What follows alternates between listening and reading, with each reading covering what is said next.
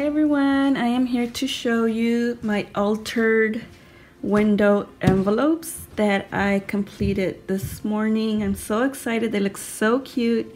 You guys know how much I love envelopes. I just love envelopes.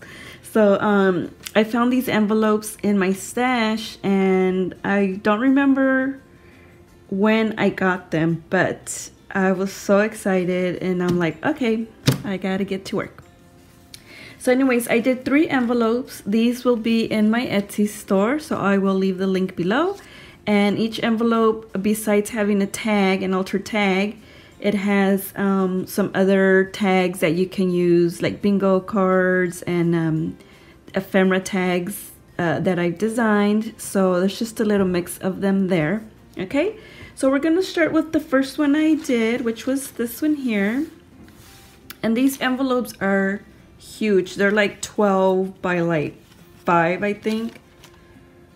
I don't know. They're they're pretty big. Good size envelopes. Okay. And then as you can see, I altered them. I added little wings on the, uh, made little fairies. I have some sari silk, vintage buttons. This one has sari silk here. Um, this book uh, pages from the 1880s and I just love how it came out. And on the inside we have this adorable, adorable inventory tag that I got from Denise. And this really pretty, um, what is it? Uh, yarn that I got from Carol. Thank you, Carol and some eyelash trim that I also got from Carol. And then we have a really pretty lady here. And I added um, some parchment paper wings. Some of this um, little measuring tape from Tim Holtz. Vintage lace from the 1940s. Um, I sewed some cheesecloth. Of course, I had to sew. And then I did some stenciling in the back. So pretty.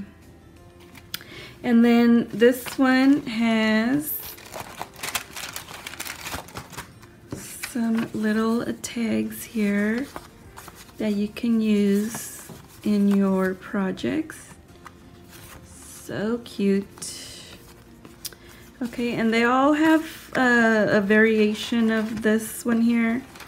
They'll have a bingo tag. They'll have a book page tag. Okay. But um, some may vary.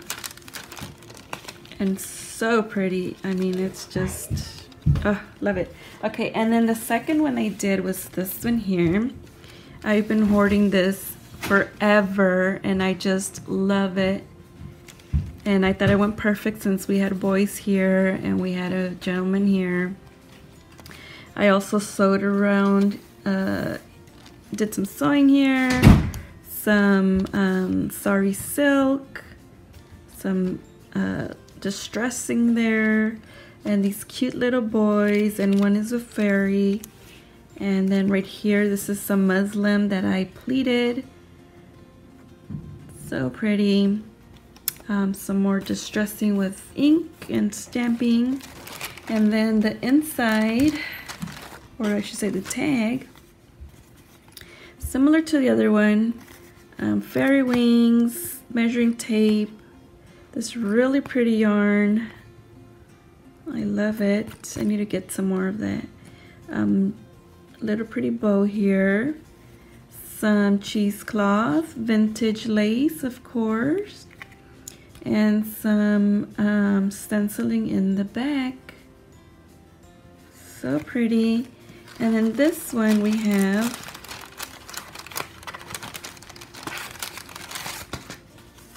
some really cute bingo cards. Uh, we have some postcards, so cute. I love her. so it's just a small variation of ephemera. And some of these are not in my uh, Etsy store yet, some of the digitals, but they will be. Okay. So here is number two. And then here is number three. I just love it. I love this here. I've been holding on to this forever as well. And um, I just finally was like, you know what? I, I'm determined to use everything I have now. I'm not going to hold back anymore. Because it just makes the projects look so much nicer.